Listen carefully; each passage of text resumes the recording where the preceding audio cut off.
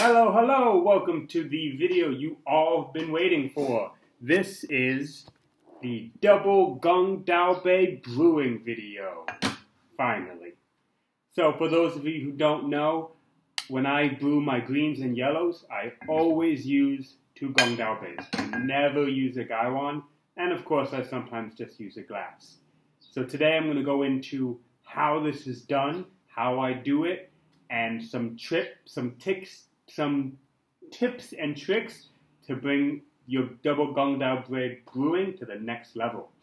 Today I'm going to be using a very special tea. This is the Huang Ya, the Huoshan Huang Ya. This is available on the website.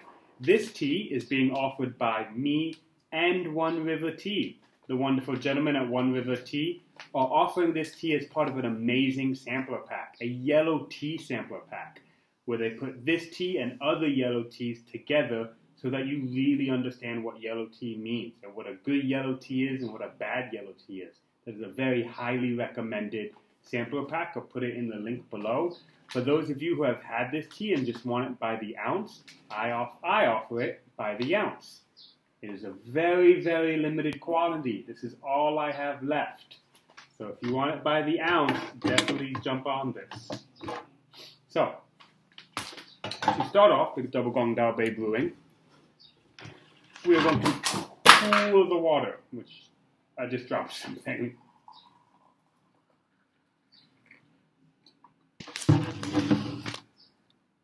This is my favorite shape to use. This will be on the website soon. Another thing I've talked a lot about doing. I like this because it's a very clear line where you should fill it up to. And I just like and I like this little nose. So right now we're just passing the water back and forth. This is simply just a way to cool the water off. You can let the water just sit and let it cool off that way, but this is a little faster and a little more fun. Water temperature should be about 85 degrees. Um, different teas actually will get a slight variation depending on the leaf. Guapian, Ho you can kind of push kind of toward 90. Bi Luo Chun, um, you want to drop down a little bit more because Guapian is a bigger leaf, Ho is a bigger leaf, Bi Luo Chun is smaller and more delicate.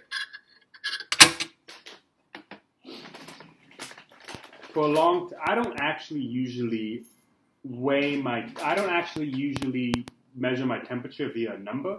What I like to do is I like to feel the glass. The glass should be a temperature where the water, the glass is uncomfortable to touch, but you can keep your fingers there for a little bit. So actually, right now it's still a little too hot. I can't really hold my finger there for that long. So another good benefit to pouring it back and forth is that right now this glass is very hot. Well, not very hot, but this glass is hot, and it's going to make smelling the dry leaves much easier. Mmm, it's good. Egg yolks, kind of that egg yolky thickness and sweetness. So not egg yolks, eh, more the egg whites, maybe just eggs. Egg whites, eh, no yolk, because it kind of has a bit of a fattiness to it. The vegetalness is kind of mossy, but that kind of like soft, boggy moss. Not really that like thick, moldy moss. Kind of that nice, softer, more vegetal moss a little bit of sweet corn in there. I find sweet corn is a very, very common flavor note for yellow teas. Today we're also using my handmade Buddha cup. This is another cup that's on the website. Uh, interesting thing about this cup, this cup is completely handmade to the point when I bought a few, I bought three of them, and when I bought them, the maker said, he was just like, look, this is handmade, they are not going to be the same. They're all going to be variations. And I thought that was a very, very cool thing for him to say. It is a little rough, so it's not a usual use for yellow teas and green teas, but I'm going to let it go. You see, now I can kind of hold it, I can kind of put my fingers to it. Another thing to keep in mind is that when you're feeling for temperature, the the glass is going to be a little bit hotter than the water, and so there's a little bit of delay in heat movement.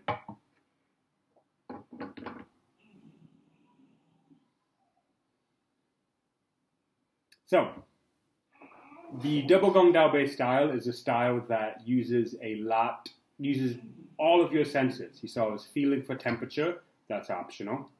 Um, but a big one is going to be sight. With the double gong dao bei brewing, as opposed to a gaiwan, you're going to be judging when to pour the teas based on how they look and how they smell. So when you first drop the teas in, they're going to look just like dried leaves. They're going to look dry.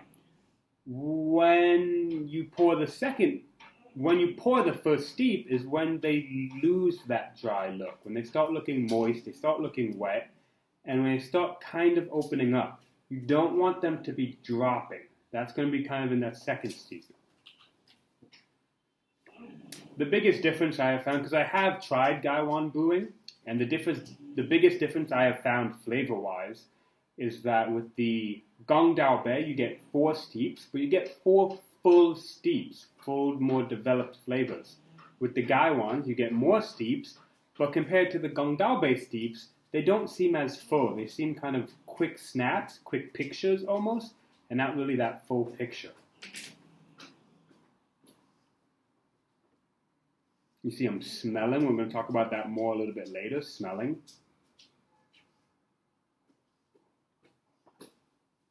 Leaves are starting to drop a little bit, so I'm going to get I'm going to ready to pour soon. And a lot of this is going to be double gong dao bei brewing definitely is a skill. There definitely is practice to really get to figure out the teas and figure out when to pour. But as once you get used to it, once you get used to it basically, and you get into the process, I find it to be it's a much more interactive brewing than a gaiwan. So here is a test of pouring, which I'm not doing particularly good at. So as you notice, I'm not using a filter for no other particular reason than eh. But um, but you can actually pour the tea. You can pour the tea from here to here without getting leaves into here if you keep a steady hand. If your hand is unsteady and the pour rate is faster than slower, faster than slower, that's when leaves are going to come out. But if you keep that pour rate steady, the leaves are going to pumpkin. Pumpkin. Don't dig at the wall. The leaves are going to, um, the leaves are going to stay in the cup. So as you see, I did an okay job. Very important. Very, very important. Um, very important. This is a leaving the tea leaves submerged is going is drinking green tea. This is and, and I'm trying to find the right words to say this, but you see this in multiple reasons regions. The you can think of the double gong dao bei pouring as a where a version of grandpa style meant for sharing. It's the same idea, except instead of just drinking it, we are first pouring it into the second container, so now that we can share. But just like in grandpa style, we're always leaving the leaves submerged. This is across tea regions, and this is just kind of, in green tea regions, this is just kind of standard. It's fact. You don't dump out the water.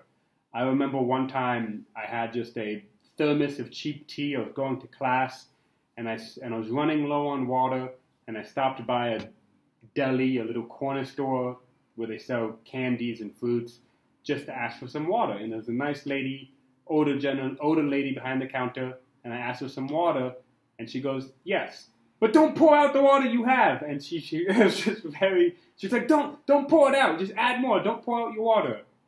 And, you know, this woman who just was not in the tea industry whatsoever, um, she was very clear that I could not pour out my water because you don't. You don't pour out your water. You don't pour out in, you don't pour out your water uh, in grandpa style, you don't pour out your water here until you are completely done and you're getting fresh leaves. Why not? There's two reasons. Reason one is that this is going to keep the leaves from oxidizing. This is a little more important in grandpa style, where when you get down here, it may be a while before you refill it, especially if you're like a cab driver. Um, but also, if you're doing the double gong dao bei style and you're drinking with a lot of people, you know, it maybe it's going to take 20 minutes to drink all of this because you're talking and you're having a good time. And you don't want those leaves to start drying out, to start oxidizing um, in that time. The main reason, though, is going to come when we pour the next steep, and we're going to get to that in a minute. So using my Buddha cup.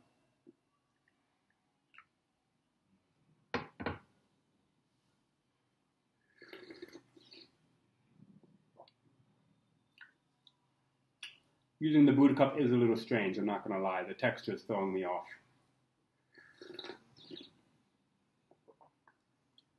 That's really refreshing though. Really sweet, really bright. Sorry, my phone is ringing. Okay. Sorry. Way? No. Way?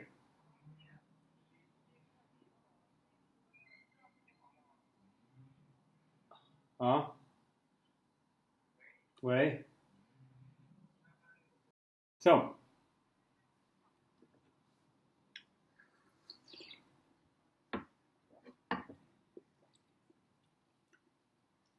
another interesting to notice, I'm, I'm pouring out here just because I want to move this along, get to the next steep. Another thing to notice is um, we didn't rinse. We didn't rinse. We just started drinking.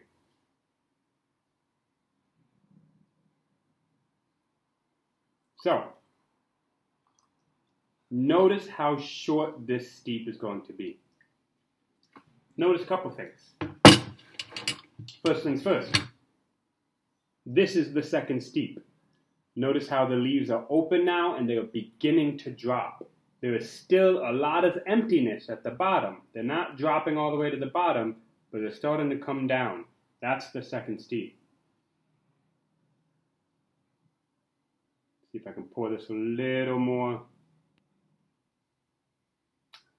As the leaves open up, pouring without a filter will be easier and easier. Because the leaves will kind of just catch on each other. Getting all those extra. Notice how fast that second brew was. Water went in and we poured right away.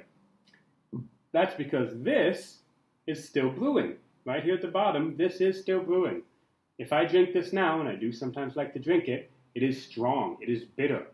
When we add more water, we're almost equalizing that in a way. We're diluting it a little bit and allowing it to brew a little bit more because it's not going to be fully brewed. Um, but this is going to cut those next steep times much, much shorter.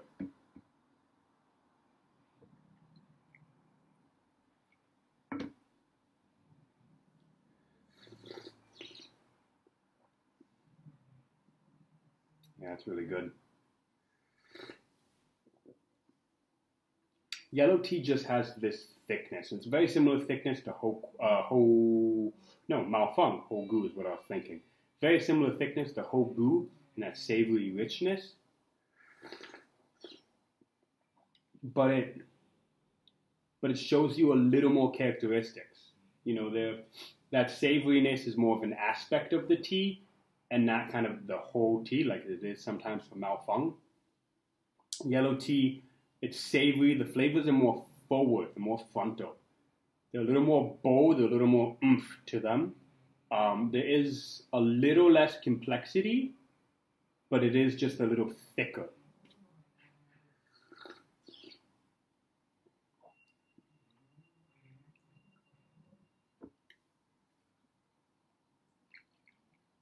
So now we're going to get into a little tip and trick.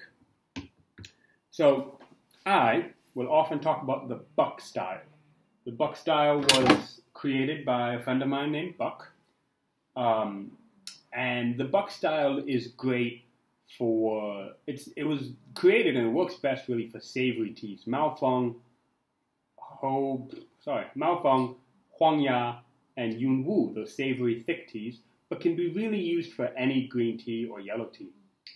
What we're going to do for the Buck style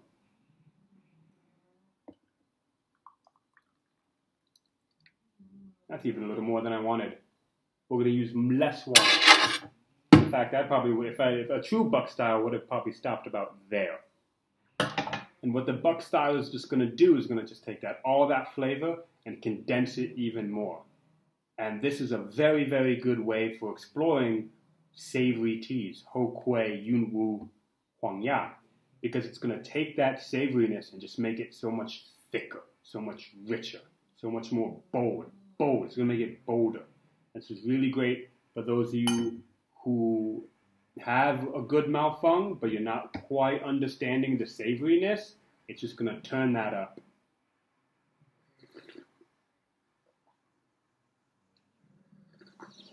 Mm.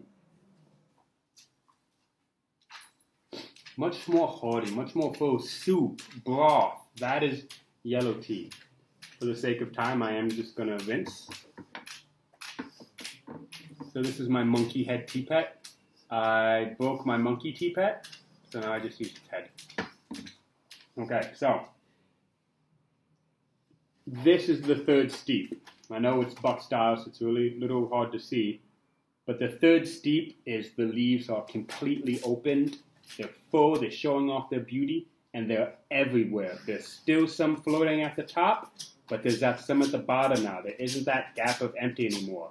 They're all over. They're in the middle. Come here. Sorry, my dog is digging at the wall. Hey, hey. Yeah, I know. We'll take you out after this. Um, this is a steep where you really, really want to use your sense of smell. Because the leaves are so open, you can't really judge it by the amount of dropping, like in the first and second steep. This is when we want to just smell it, smell it, smell it, and when it has that flavor we want, then pour.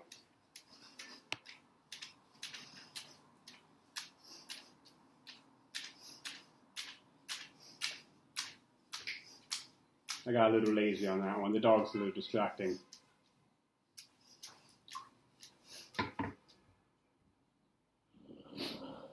still leaving some at the bottom. And for the sake of time, I am going to get into the last steep, and just so we can talk about the last steep.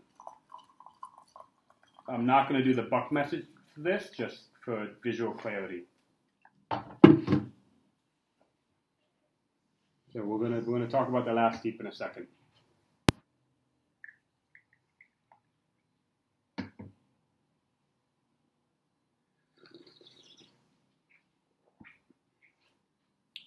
So the first steep is the softest steep. Leaves haven't fully opened up, they're kind of starting to show their stuff. The second steep is the strongest steep. They're really start, they've opened up, they're really starting to show their power. The third steep is the most is considered the best steep. It is the leaves are the most centered, the flavor's the most centered. You know, so the leaf the flavor has gum up and then it's kind of hit that point. Like it's comfortable. The last steep is going to be softer you know, the leaves have spent. There's still some left, but they're spent. I do not recommend yellow and I well let me not say that. I do not like yellow and green teas in earthenware cups. So now let's talk about the last steep. So we've judged all these steeps on how much the leaf is dropping.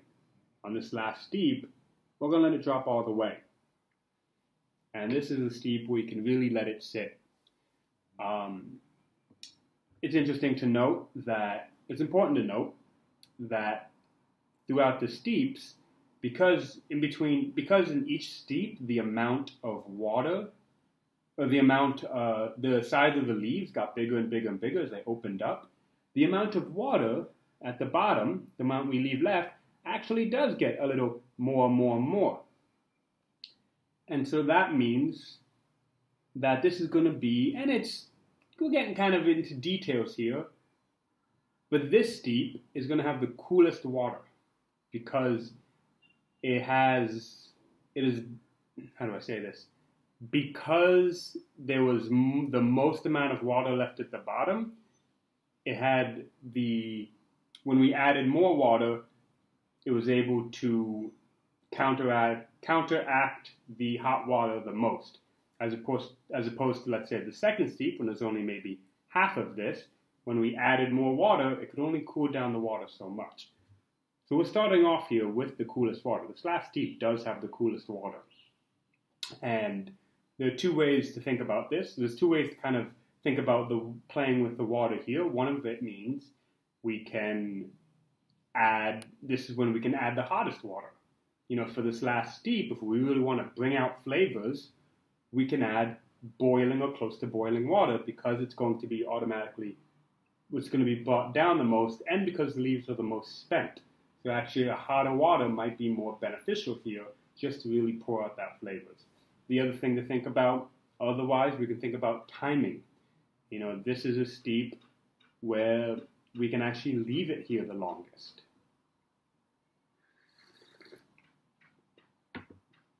So as we're getting into these different, um, as we get into Gongdao Bei brewing, there's actually quite a bit of complexity here. And of course, for the final steep, my pouring is the worst. My pouring is terrible.